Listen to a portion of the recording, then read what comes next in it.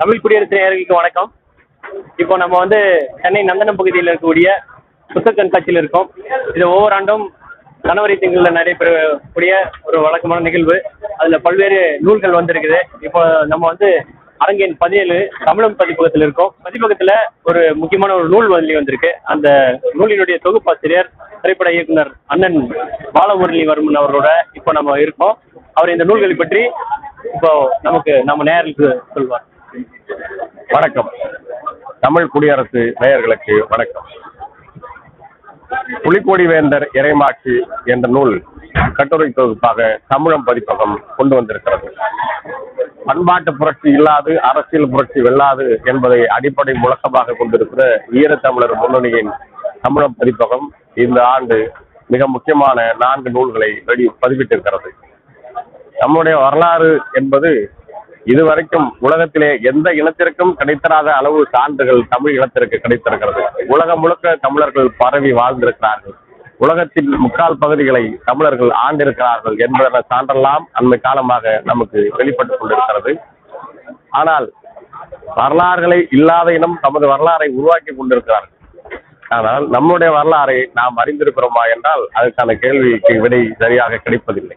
உலக பந்திலே தமிழினத்தின் தொன்மைமிக்க இந்த இனம் ஐம்பதாயிரம் ஆண்டுகள் மொழி பின்பலம் கொண்ட இந்த இனம் எவ்வளவு உலகில் திறந்து உயர்ந்து விளங்கியிருக்கிறது என்பதற்கான வரலாற்று சான்றுகள் நம்மிடம் இருக்கின்றன. ஆனால் பேரளவில் பார்க்கும் போது இன்னும் அந்த வரலாற்றுக்கான தேடுதல் ஈடுபாடு நம்மிடம் உருவாக்கப்பட்டிருக்கிறதா? அதற்கான முழுமையான வேலைகள் நடந்திருக்கிறதா? என்றால் இல்லை. அது வந்து சாதாரணமாக நடக்கவில்லை. அது வந்து ஒரு திட்டமிட்ட சரியாக கூட அதை எடுத்துக்கொள்ள முடியும். இதை திட்டமிட்டே மறைத்திருக்கிறார் என்பதற்கு சான்றாக நம்மிடம் ஆதிச்சநல்லூர் அழகன்குளம் சிந்து செவலி நாகரிகம் தொடங்கி அத்தனையும் நம்மிடம் இருக்கிறது. இப்ப அண்மையிலே கீழடியில நடந்து கொண்டிருக்கின்ற நடந்து முடிந்த ஐந்து கட்ட தேடுதல் தேடுதலும் அகலாய்வுகளும் அது நமக்கு ஒரு பாடத்தை கற்பிக்கிறது.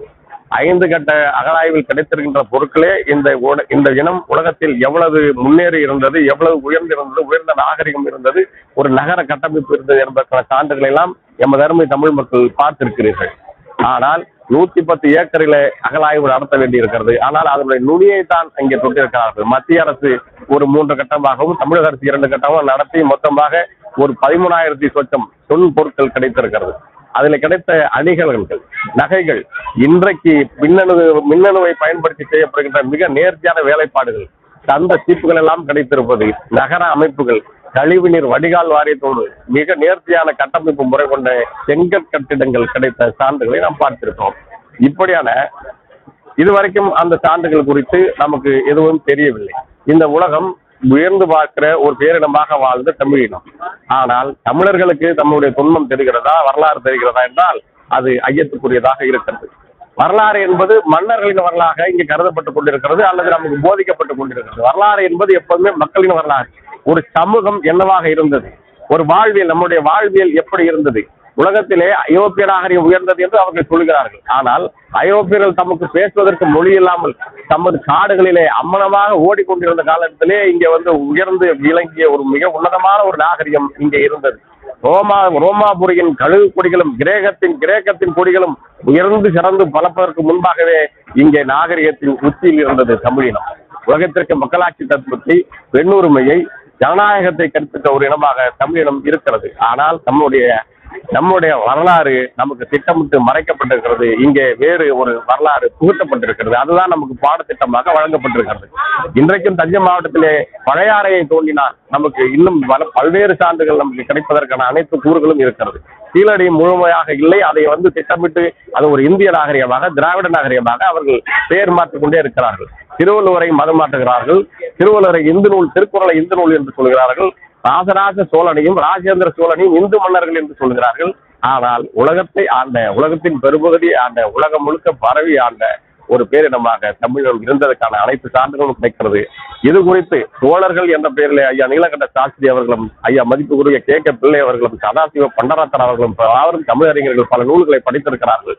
ஆனால் அவையெல்லாம் மிக மிக தீவிரமான மாணவர்களுக்கும் இளைஞர்களுக்கும் படிப்பிலே மிகவும் கவனமாக ஒரு ஆய்வை ஆய்வு நூல் மாணவர்களுக்காக பயன்படுகிற நூலாக அவை இருக்கிறது. ஆனால் நம்முடைய நோக்கம் நம்ம வரலாறை.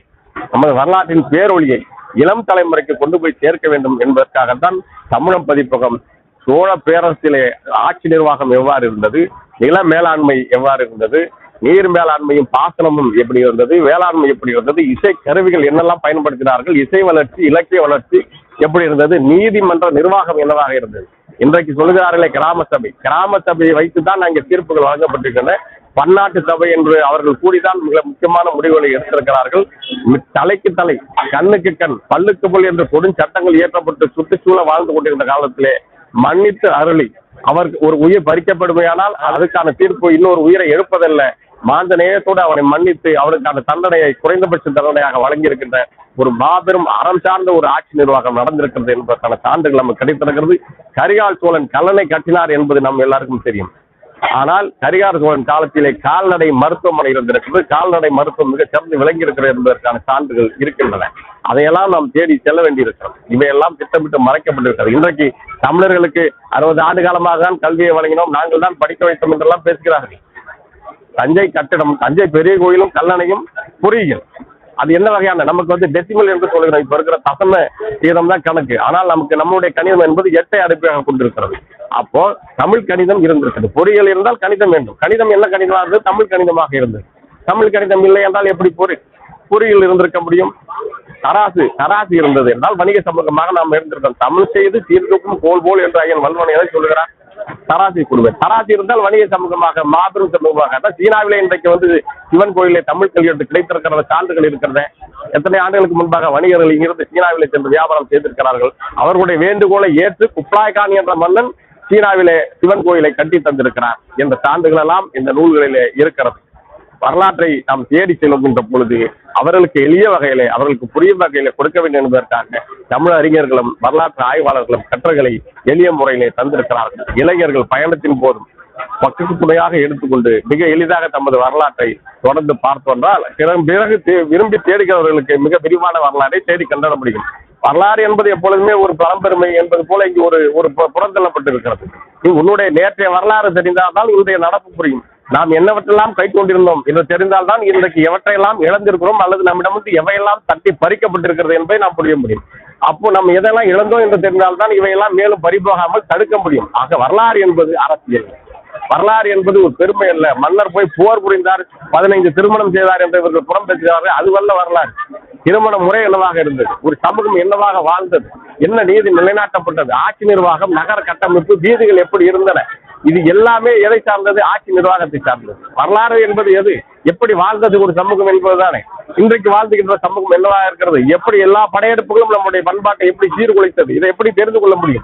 ஏற்கனவே சொன்னது போல நேற்றைய வரலாறு தெரிந்தால்தான் இன்றைய நடப்பு புரியும். இன்றைய நடப்பு புரிந்தால்தான் நாளை நம் வசமாகும். வரலாறு என்பது நம்முடைய வாழ்வின் திறவுகோள்.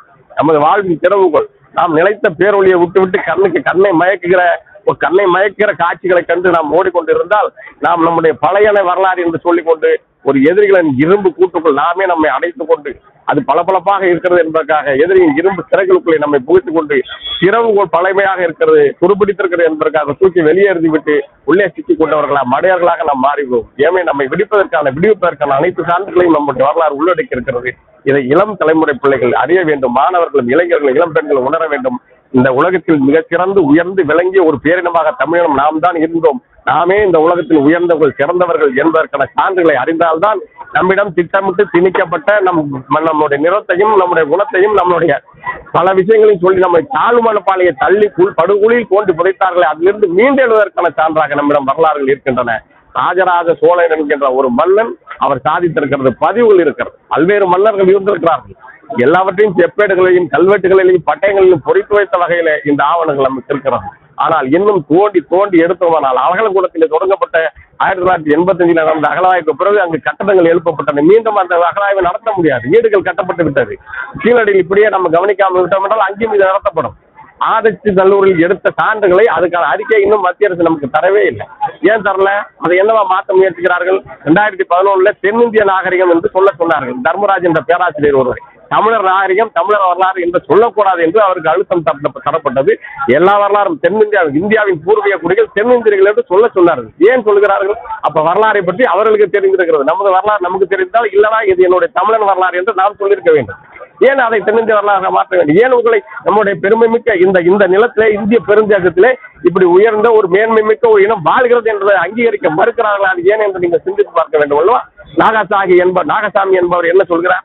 நாகசாமி அதற்கான மிகப்பெரிய மறுப்புகளை அற்புதமாக ஐயா விக்டர் அவர்கள் அவருடைய வரலாற்று ஆய்வறிஞர் மிகப்பெரிய அறிஞர்கள். தமிழ் அறிஞர்கள் நாம் எப்போதுமே அயல்நாட்டு அறிஞர்கள் அதை சொன்னார்கள் ஜார்ஜ் ஜார்ஜ் அதை சொன்னார் என்று சொல்கிறோம். நம்மிடம் இருக்கிற அறிஞர்களை பற்றி நமக்கே தெரியாது. நாம் நம் பிள்ளைகளுக்கு நம் மாணவர்களுக்கு அதை சொல்வதில்லை. அதுதான் பாடத்திட்டம். உங்கள் பாடத்திட்டத்தை வகுப்பது யார்? உங்கள் பாடத்திட்டத்தை தீர்மானிப்பது யார்? உங்களுக்கு சொல்லப்படுகிற வரலாறு ஹரிசர் கனிஷ்கர் அசோகர் இதெல்லாம் யாரு? இங்க இருக்கிறவங்களை யாராச்சும் தெரியுமா நமக்கு? தெரியாது. வீரன் சின்னமலை நெப்போலியனுக்கு தூது அனுப்பினாரே அதை பற்றி தெரியுமா? கருப்பு சேர்வை என்ற ஒருத்தர் சென்றார். நெப்போலியனும் கருப்பு சேர்வையை சந்தித்திருந்தால் இந்திய வரலாறு மொத்தமாக மாறி இருக்கும். பிரெஞ்சுக்கும் இந்தியாவுக்கும் ஒப்பந்தம் ஏற்பட்டிருக்கும். அதற்குள் பிரிட்டிஷ் பிரெஞ்சோடு ஒப்பந்தம் போட்டு தான் இந்திய வரலாறு மொத்தமாக மாறுகிறது. இது வரலாறு.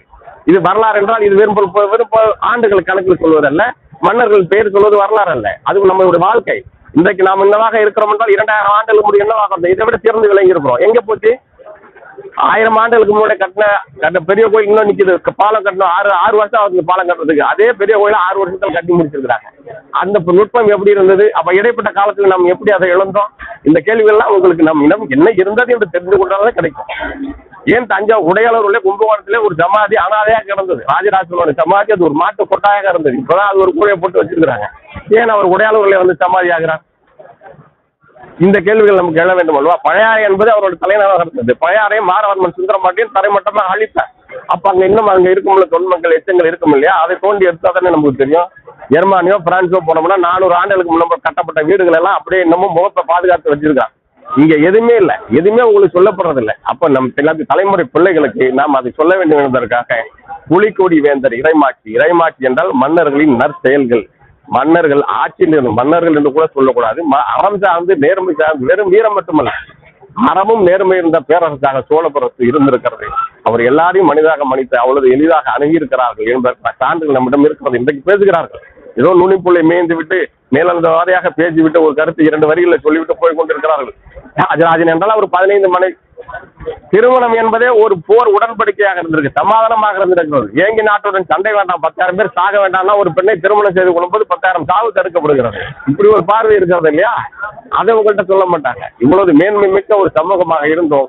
எப்படி வீழ்ந்தோம்? தமிழர் பண்பாடுகள் எப்படி நம் மீது படையெடுத்து தரைமட்டமாக ஒழிக்கப்பட்டன? நம் மீது மேலிருந்த அனைத்து ஆட்சியங்களும் எப்படி நம் மீது நிகழ்த்தப்பட்டன? தமிழன் எவ்வாறு அடிமையானான்? ஐயா அரவாணன் அவர்கள் சொல்வது போல எப்படி அறிமையாக மிக உயர்ந்து சிறந்து விளங்கிய ஒரு இனம் தாழ்வு மனப்பான்மை எப்படி தாக்குண்டது எப்படி சிக்கிக் கொண்டது? வெள்ளையாக இருந்தால் தான் உயர்வு என்ற கருத்தில் எப்படி உங்களுக்கு வந்தது? இதற்கெல்லாம் கேள்வி இளைஞர்கள் கிடைக்கும். கருப்பாக இருந்த நாலடி ஐந்து அடி இருந்தவர்கள் தானே ஆண்டிருக்கிறார்கள். அவன் தானே உலகம் முழுக்க பரவி இருக்கிறான் அப்ப நாம இன்னைக்கு இருக்கிறவங்க நாம் ஏன் நம்மையே நாம் தாழ்வாக நினைக்க வேண்டும்? எப்படி மீண்டு எழுவதற்கான வாய்ப்பாக வரலாறுகள் நமக்கு பாடமாக இருக்கிறது. வரலாறே நமக்கு வழிகாட்டுகிறது. எனவே வரலாறை தெரிந்து கொள்வது என்பது நம் வரலாறை நம் வாழ்க்கையை நாம் எதிர்கால வரலாறை தீர்மானிப்பதை குறித்தாக அடிப்படையாக இருக்கிறது. எனவேதான் இந்த நூல் வெளியிட்டு இருக்கிறோம் நாங்கள் தமிழம் பதிப்பகத்தில் இந்த பதிப்பகம் இது இருநூறு ரூபாய் விலை. இப்பொழுது பதிப்பகத்திலே பத்து சதவீத தள்ளுபடி பத்து விழுக்காடு தள்ளுபடி போக நூத்தி எண்பது ரூபாய் கிடைக்கிறது. தொடர்ந்து எப்போது வேண்டுமானால் நீங்கள் அந்த தமிழம் பதிப்பகத்திலே தொடர்பு கொள்ளலாம். அது சென்னை மதுரை வாயிலும் தஞ்சாவூரிலும் கிடைக்கிறது. எட்டு நாலு இரண்டு எட்டு நாலு எட்டு நூத்தி பதினொன்று ஐந்து என்பது தொடர்பு எண். எட்டு நாலு இரண்டு எட்டு நாலு எட்டு நூத்தி பதினொன்று ஐந்து என்ற எண்ணுக்கு தொடர்பு கொண்டால் உங்களுக்கு தேவையான புத்தகங்கள் அளித்து தரப்படும். இப்போ வரலாறு மட்டுமல்லாது அண்மை காலமாக இப்ப சுதந்திரத்துக்கு பிறகு ஆயிரத்தி தொள்ளாயிரத்தி முப்பத்தி எட்டுல இந்தி திணிக்கப்படுகிறது இந்தி கட்டாயமாக்கப்படுகிறது தமிழக பள்ளிகளிலே. மூதறிஞர் என்று சொல்லப்பட்ட ராஜகோபாலாச்சாரியர் அவர்கள் நாங்கள் ஆட்சிக்கு வந்தால் இந்தியை கட்டாய பாடமாக்குவோம் என்று சொல்லிதான் நாங்கள் தேர்தலில் வென்றார்கள். பிரிட்டிஷாரை எதிர்த்து காங்கிரஸ் ஆட்சிக்கு வர வேண்டும் அரசுக்கு வர வேண்டும் என்று முடிவெடுத்த பிறகு அவர்கள் தேர்தலில் நிற்கிறார்கள். தேர்தலில் வென்றால் இந்திய கட்டாய அனைத்து பள்ளிகளையும் இந்தியா முழுமைக்கும் கட்டாய பாடம் ஆக்கும் என்று சொன்னார்கள். அதே போல வென்ற பிறகு இந்திய கட்டாய பாடம் ஆக்கப்படும் என்று ராஜாஜி அறிவிக்கிறார்.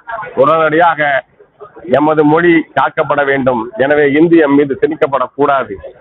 எமது மொழியே இன்னும் வந்து காக்கப்பட வேண்டிய நிலையில் இருக்கிறது. இங்கே இந்தி தேவையில்லை என்று ஈழத்து சிவானந்த அடிகள் என்பவர் ஆயிரத்தி தொள்ளாயிரத்தி முப்பத்தி ஏழிலே இந்தி எதிர்ப்பு இயக்கத்தை தொடங்குகிறார். அவர்தான் முதல் இந்தி எதிர்ப்பின் பேர். அவர்தான் இங்க இருக்கிறவர்களுக்கு மறைமலடிகர் ஐயா மறைமல் அடிகள் அவர்களை சந்திக்கிறார்கள். ஈழத்து சிவானந்த அடிகள் சோமசுந்தர் பாரதியார் அவர்களை சந்திக்கிறார்கள். அவர் குறித்து ஐயா நாவலர் நெடுஞ்செழி அவர்கள் கூட ஆயிரத்தி தொள்ளாயிரத்தி ஐம்பத்தி அஞ்சில் சொல்கிறார்கள். இந்தி எதிர்ப்பு போரை தொடங்கியது தனியாக தனி ஒருவராக இருந்து தொடங்கியது ஐயா ஈழத்து சிவானந்த அடிகள் என்று நாவலர் நெடுஞ்செல்லியன் அவர்கள் குறிப்பிட்டிருக்கிறார்கள். பிறகு அந்த போராட்டம் வெற்றி பெறும்போது தொடக்கத்தில் இந்த இந்திய எதிர்ப்பு போர் தொடங்கும் போது யாரெல்லாம் எதிர்த்தார்களோ நாங்கள் இந்தியை எதிர்ப்பது தமிழ் வாழ வேண்டும் என்பதற்காக அல்ல.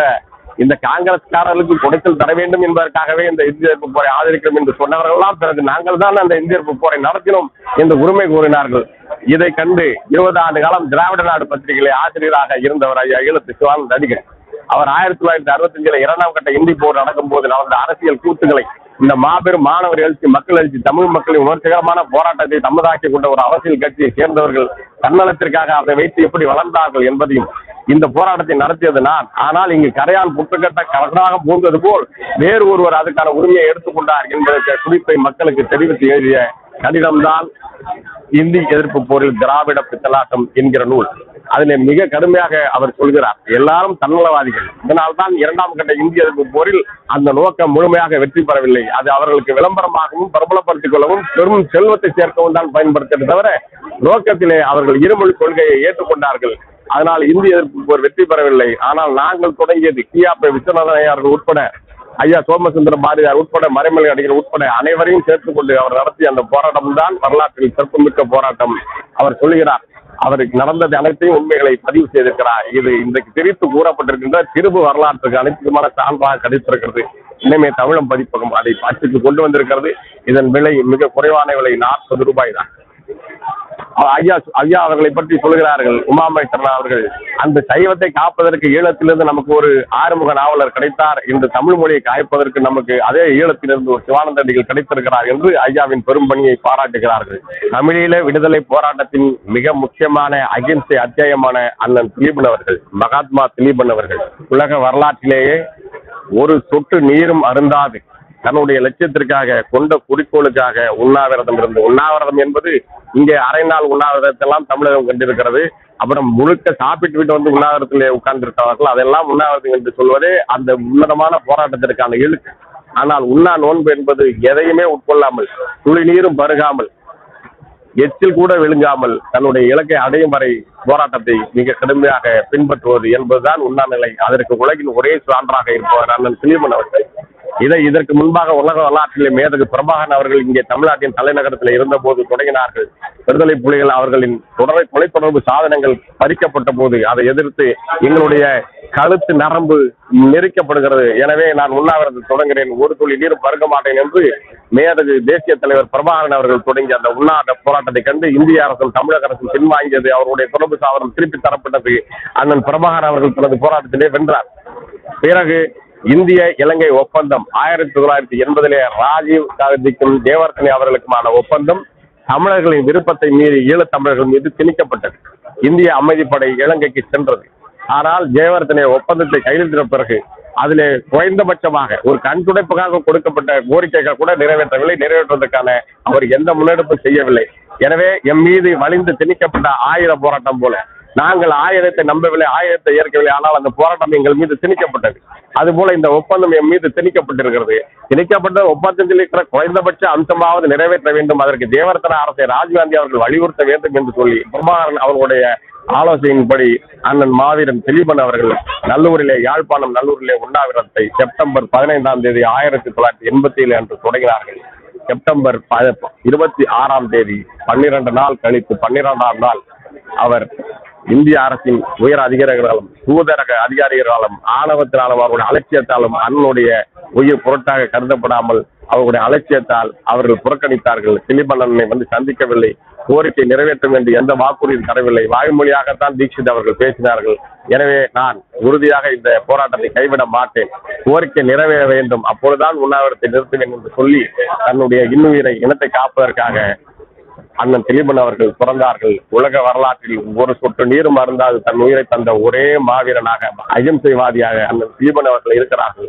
அகிம்சையை போதித்த இந்தியா இந்திய தேசம்தான் அகிம்சையான மாவீரன் அவர்களை திலீபன் அவர்களை கொன்றது. அல்ஜீரியாவின் வீரன் ஒபிசாண்டா அவர்கள் உண்ணாவிரதம் இருந்தார். ஐயா பொட்டி ஸ்ரீராமன் உண்ணாவிரதம் இருந்தார். ஐயா சங்கரலிங்கன் அவர்கள் உண்ணாவிரதம் இருந்தார்கள் எல்லோரும் நீர் அருந்தினார்கள் நீராக நீர் வடிவத்திலே நீராகார வடிவத்திலே உணவை எடுத்துக்கொண்டார்கள். ஒரு துளி நீரும் இருந்தாமல் தான் ஏற்றுக்கொண்ட லட்சியத்திற்காக குறிக்கோளுக்காக ஒரு துளி நீரும் அருந்தாமல் தன்னுடைய உயிரை தந்த அவரது அண்ணன் திலீபன் அவர்கள் பன்னிரண்டு நாளும் உண்ணாநிலை இருந்த போது அவருடைய உடலிலே ஏற்பட்ட மாற்றங்கள் ஒவ்வொரு நாளும் அவர் தளர்ந்து கொண்டிருக்கிறார்.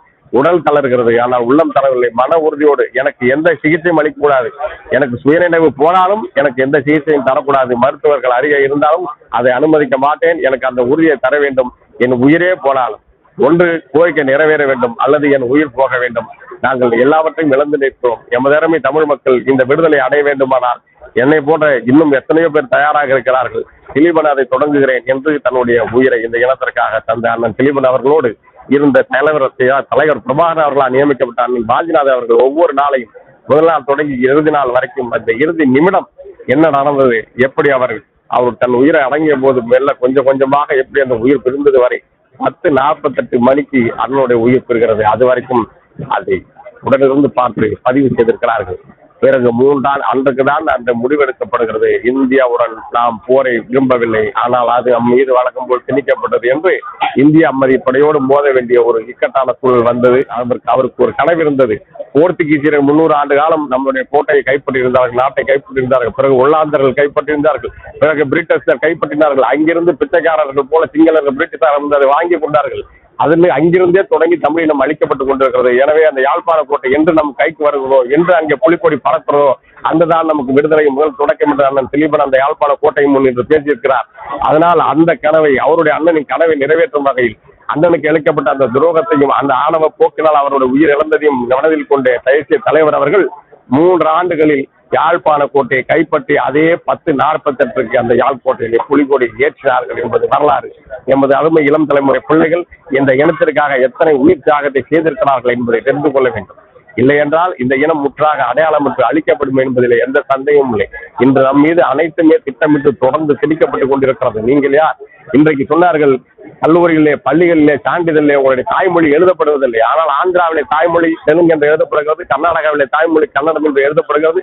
இங்கே உங்களுக்கு திட்டமிட்டு நாம் இங்கு பல்வேறு விஷயங்களை நம் மீது அவர்கள் சொன்னதெல்லாம் பின்பற்றிக் கொண்டிருக்கிறோம். அதனால் இப்போது அண்மை காலமாக தாய்மொழி எழுதப்படாமல் சான்றிதழ் ஏன் நாளைக்கு இது நீ யார்? உன்னுடைய மொழி அது நீ எந்த இனத்தை சேர்ந்தவன் என்பது தெரியாது. இங்கு எல்லாம் கலப்பினமாக உருவாக்கப்படும். உன்னுடைய உரிமைகள் உன்னுடைய வேலை வாய்ப்பு உன்னுடைய வணிகம் உன்னுடைய பொருளாதாரம் உன்னுடைய அரசியல் எல்லாமும் அயலாருக்கு அள்ளி தரப்படும். எனவேதான் அது திட்டமிட்டு நடத்தப்படுகிறது. என்பதை அன்பு எனதருமை தம்பிகள் எனதருமை இளம் பிள்ளைகள் இளம் தலைமுறையினர் இந்த வரலாற்றை விழித்து வரலாறை அறிந்த இனம்தான் விழித்துக் கொள்ளும். வரலாற்றை இழந்தால் வரலாறை நாம் படைக்க முடியும். எனவே அண்ணன் மகாத்மா திலீபன் அவர்கள் நூலை படித்திருக்கிறோம். இந்த நூல் அறுபது ரூபாய். நீங்கள் இந்த புத்தக கண்காட்சியிலே அதுக்கு நம்ம கழிவு தள்ளுபடியோடு தருகிறோம். புத்தக திருவிழாவுக்கு பிறகும் இந்த நூல் சென்னை மதுரவாயிலே கிடைக்கும். ஏற்கனவே சொல்லியிருந்த எட்டு நாலு இரண்டு எட்டு நாலு எட்டு நூற்றி பதினொன்று ஐந்து என்ற எண்ணுக்கு தொடர்பு கொள்ளலாம். தமிழ் பேரறிஞர் ஐயா மாசோ அவர்கள் நூத்தி பத்து நூல்களை நூல்கள் என்றால் அது வரலாறு கடைப்பத்திரம் அல்ல. மாத இதழ் அல்ல மாத நாவல்கள் அல்ல பொழுதுபோக்கு அம்சங்கள் அல்ல. நூற்றி பத்து புத்தகங்களும் மிகப்பெரிய ஆய்வு. உலகத்தின் எந்த அறிஞர்களும் உலகத்தின் உலகத்தில் பேரறிஞர்கள் அத்தனை பேருமே இந்த தமிழினத்தின் தொன்மங்களையும் தமிழினத்தின் வரலாறையும் ஒத்துக்கொண்டிருக்கிறார் எத்தனை பேர்? எத்தனை பேர்? எல்லாரும் அவர்கள் ஏற்றுக்கொண்டிருக்கார் அந்த உலகம் முழுக்க உயர்ந்த இனம் இங்கேதான் ஆதி மனிதன் முதல் ஆதி மனிதன் தோன்றினான். அவன் தமிழன் தான் அவன் பேசிய மொழி தமிழ் தான் என்பதை பல்வேறு அறிஞர்கள் ஏற்றுக்கொண்டிருக்காங்க நமக்கு தான் அதில் சங்கடம் இருக்கான் தமிழ் பேசுவது என்பது நமக்கு வந்து மிகவும் ஒரு அச்சப்பட நாணப்படக்கூடிய விஷயமாக இருக்குது ஆங்கிலம் பேசினால்தான் நமக்கு அறிவு இருக்கிறது என்று நாமே நினைத்து கொண்டிருக்கிறோம். அப்போது இப்ப சீனா அனுமதிக்கும் வரை அதுக்கு முன்பாக உலகத்திலே முப்பது கோடி பேர் தான் ஆங்கிலம் பேசினார்கள். உலகத்தில் இன்றைக்கு வல்லரசாக மருத்துவத்திலே ஆயுத தயாரிப்பிலே மருத்துவ உபகரணங்கள் தயாரிப்பிலே மிக அறிவியலிலே உயர்ந்து விளங்குகிற எல்லா தேசங்களும் தாய்மொழி கல்வியை தான் தந்து கொண்டிருக்கிறது இங்க தன் பிள்ளைகள் ஆங்கிலத்திலே மம்மி டாட்டு என்று அழைப்பதுதான் தமிழர் மிகப்பெரிய கரு பெருமையாக கருதுகிறான் ஆங்கிலம் படிப்பது இன்னொரு மாற்று மொழியாக இந்தி படிப்பது சமஸ்கிருதம் படிப்பது தவறு என் பிள்ளைக்கு தமிழ் தெரியாது என்பதை சொல்லுகின்றது பெருமையாக நினைக்கிற இனமாக முப்பது அறுபது ஆண்டு காலமாக திட்டமிட்டு நம் மீது இந்த இருமொழி கொள்கை இந்திய எதிர்ப்பு போராட்டம் வெற்றி பெற்றதாக சொல்கிறார்கள். ஆனா அப்பொழுதுதான் இந்த ஆபத்து நமக்கு தமிழ் மொழி கட்டாய பாடமாக இருக்க வேண்டும். ஆனால் தமிழ் மொழி விருப்ப பாடமாகவும் ஆங்கிலம் கட்டாயமாகவும் இந்தி கட்டாயமாகவும் ஆக்கப்பட்டது தமிழ் விருப்ப பாடம் விருப்ப பாடம் என்றால் யார் வேணாலும் படிக்கலாம் படிக்க போகலாம் என்ற கொள்கை தான் அவர்கள் இருமொழி கொள்கையாக கொண்டு வந்தாங்க அப்போ அங்கேயே திட்டமிட்டு உங்களிடம் மொழி அப்புறப்படுத்தி விட்டது நாளை என் தாய்மொழி இறக்குமானால் நான் இன்றே இறப்பேன் என்று சொன்னான். நவாமொழி கவிஞர் ரசூல் கம்சர் ஆனால் நம் தாய்மொழியை காப்பதற்காக முன்னூறுக்கு மேற்பட்டவர்கள் முன்னூறுக்கு மேற்பட்டவர்கள் தம் உயிரை உலகத்துல எந்த வரலாற்றையும் இல்லை. இங்க ராணுவத்துல குண்டடிப்பட்டு தன் உடலை தன் உயிரை தானே தந்து முதலாக கீழ்போ கீழப்பள்ளூர் சின்னசாமி ஐயா அவர்கள் ஆயிரத்தி தொள்ளாயிரத்தி அறுபத்தி நாலுல. அதற்கு முன்பாக ஆயிரத்தி தொள்ளாயிரத்தி முப்பத்தெட்டுல தாளமுத்து நடராசன் அவர்கள் தொடங்கி சிறை சென்ற போது இறந்தார்கள். பிறகு போராட்டத்தில் ஆயிரத்தி தொள்ளாயிரத்தி அறுபத்தி நாலு கீழப்பள்ளூர் சின்னசாமி அவர்கள் இந்தி ஒழிய தமிழ் வாழ்க என்று தன் மீது எண்ணெய் ஊட்டி கொண்டு எரித்துக் கொண்டார். பிறகு மாயவரம் சாரங்கபாணி நெருகை அரங்கநாதன் உட்பட முன்னூறுக்கு மேற்பட்டவர்கள் ராணுவம் வந்தது. சிவகங்கை ராஜேந்திரன் அண்ணாமலை பல்கலை வாசனை நின்று சுடுரா என்று தன் நெஞ்சை ராணுவ துப்பாக்கி முன்னே நின்றார் எதற்காக? நம் மொழியை காப்பதற்காக. இந்த மாபெரும் வரலாறு. தமிழ் மொழி என்பது இன்றைக்கு இருக்கிற நிலையை எட்டிருக்கிறதே அது எவராலும் அழிக்க முடியாத ஒன்று. அது தன்னைத்தானே மீட்டுக்கொள்ளும் தன்னைத்தானே காத்துக்கொள்ளும் ஆனால் தமிழர்கள் எந்த மொழியை கற்றுக்கொண்டாலும் இருக்கலாம். உங்கள் வாழ்வதற்காக. ஆனால் நம்முடைய தாய்மொழியாம் தமிழை உலகத்தின் தாய்மொழியாம் தமிழை எல்லோரும் அவரவர் தமிழ் தாய்மொழியில் பேசுகிறார்கள். ஆனால் நாம் தான் உலகின் தாய்மொழியில் பேசிக் கொண்டிருக்கோம் என்ற பெருமையோடு நம் மொழியின் பெருமையை அறிந்து கொள்ள வேண்டும். மொழி என்பது வெறும் பெருமை அல்ல அதுதான் நம்முடைய இனத்தின் அடையாளம். அதுதான் நம்முடைய வாழ்க்கை அதுதான் நமது பண்பாடு அதுதான் நமது வரலாறு அதுதான் நம்மை வாழ வைக்கிறது என்பதை அடிப்படையாக வேலைக்காக படிக்கிறது ஆங்கிலம் என்பது வேலைக்காக படிப்பது வேலைக்காக எந்த மொழியும் கற்றுக்கொள்ளலாம் அதை யாரும் தடுப்பதில்லை. ஆனால் தமிழ் இருக்கக்கூடாது என்று திட்டமிட்டு அவர்கள் செய்கிறார்களே அதை நாம் அடிப்படையை புரிந்து கொள்ள வேண்டும். பத்து புத்தகங்கள் படைத்தவர் ஐயா தேசியமும் திராவிடும் என்ற நூலை தமிழம் பதிப்பகம் வெளியிட்டிருக்கிறது. இந்த நூலின் விலை நூத்தி ஐம்பது. புத்தக திருவிழாவில் தள்ளு தள்ளுபடியோடு கிடைக்கிறது. தொடர்ந்து மதுரை வாயிலே சென்னையிலே இந்த நூல் கிடைக்கும். புரட்சியாளர் லெனின் அவர்கள் குறிப்பிடுகிறார்கள் புரட்சி பாதையிலே துப்பாக்கியோட மிகச்சிறந்த ஆயுதங்கள் புத்தகங்களே என்று சொல்கிறார். மனிதனின் மிகப்பெரிய கண்டுபிடிப்பாக மாமேதை ஐன்ஸ் அவர்கள் புத்தகங்களை தான் குறிப்பிடுகிறார். நீங்கள் லண்டனிலே எங்கே தங்க வேண்டும் என்று கேட்டபோது எங்கே தங்க விரும்புகிறீர்கள் என்று கூறும்போது அண்ணல் அம்பேத்கர் அவர்கள் நான் நூலகத்தின் அருகிலே தங்க விரும்புகிறேன் என்று சொன்னார். ஆயிரம் புத்தகங்கள் படித்தவர் எவரோ அவரே என் வழிகாட்டி என்றார் ஜூலியஸ் உலகத்திலே நாகரிகம் என்பது இந்த தொழில் சமூகம் எப்பொழுது நாடகத்தை விட்டு வெளியேறி வந்தது நெருப்பை கண்டுபிடித்தது மிகப்பெரிய முன்னெடுப்பு அடுத்தது இரும்பை கண்டுபிடித்தது அடுத்த பாய்ச்சல் அடுத்த சக்கரம் தான் நாகரிகத்தை நோக்கி நம்மை நகர்த்தி கொண்டு மனித சமூகத்தை. அதன் பிறகு அடுத்தடுத்த வளர்ச்சியாக நாம் அனைத்தையும் அடைந்த உச்சநிலை எட்டிய போது புத்தகம் என்பது அச்சு இயந்திரம் ஆயிரத்தி ஐநூறு நானூத்தி எழுபத்தாறு ஆயிரத்தி நானூத்தி எழுபத்தி ஆறுல வில்லியம் டாக்டன் என்பது இங்கிலாந்தினை கண்டுபிடிக்கிறோம் அது இந்த நிலத்திற்கு ஆயிரத்தி ஐநூத்தி ஐம்பதுல வருகிறது. ஆயிரத்தி ஐநூத்தி ஐம்பதுல வந்த பிறகு ஆயிரத்தி ஐநூத்தி ஐம்பத்தி நாலுல கார்த்தியா ஏ போர்த்துகீஸ் தமிழ் ஏ போர்த்துகீஸ் என்ற அந்த புத்தகம் அச்சடிக்கப்படுகிறது. அதிலே தமிழ் மொழி சொற்கள் லத்தீன் மொழியிலே அச்சடிக்கப்படுகிறது. ஆயிரத்தி ஐநூத்தி எழுபத்தி எட்டுல முதல் தமிழ் நூல் சந்திரான் வணக்கம் என்ற நூல் தான் முதல் தமிழ் நூல். அந்த முதல் தமிழ் தான் இந்தியாவுக்கே முதல் நூல். அந்த அத்தகைய மகாபெரிய ஒரு வரலாற்றிலே ஒரு அச்சு இயந்திரத்தின் பாய்ச்சல் அச்சு பதிப்பகத்தின் பார்த்து பதிப்பகத்துறையின் வளர்ச்சி அடுத்தடுத்து புத்தகங்கள் என்று நாம் இன்றைக்கு இந்த நிலை இன்றைக்கு நவீன வடிவங்கள் பலது வந்துவிட்டன கணினியிலேயே படிக்கிறார்கள். இருந்தாலும் ஒரு புத்தகத்தை படிக்கும் போது நாம் அனைத்தையும் இழந்து நம் வாழ்க்கை தொலைந்து விட்டது. புதிய வாழ்வு வாழ வேண்டும் என்று எதிர்பார்க்கிறோமா? நம்புகிறோமா? ஏங்குகிறோமா? நீங்கள் ஒரு புதிய புத்தகத்தை எடுத்து படிக்க தொடங்குங்கள் என்றார் இங்கர்தான். எனவே புத்தகம் என்பது ஐயா அறிஞர்களோடு நாம் உரையாடுவதற்கு அறி அறிஞர்களோடு தொடர்பு பேசுவதற்கு அறிஞர்கள் அறிஞர்களாக நம்ம மாற்றிக்கொள்வதற்கு அறிஞர்களாக வளர்வதற்கு அறிவை விரிவு செய்வதற்கு அகலகமான பார்வையாளர் உலகை ஆள்வதற்கு புத்தகங்களை நமக்கு வழி செய்கின்றன. புத்தகங்கள் தான் நமது வா வாசிப்பே நமது சுவாசிப்பு என்பதை மக்களுக்கு சொல்லிக்கொண்டு எனதிருந்து தமிழ் பிள்ளைகள் இளம் தலைமுறையினர் வாசிப்பை தீவிரமாக ஒரு இயக்கமாக முன்னெடுக்க வேண்டும் என்று தமிழகம் சார்பாக கேட்டுக்கொண்டு உங்கள் அனைவருக்கும் எமது தமிழர் திருநாள் வாழ்த்துக்களை தெரிவித்துக் கொள்கிறேன். நன்றி வணக்கம்.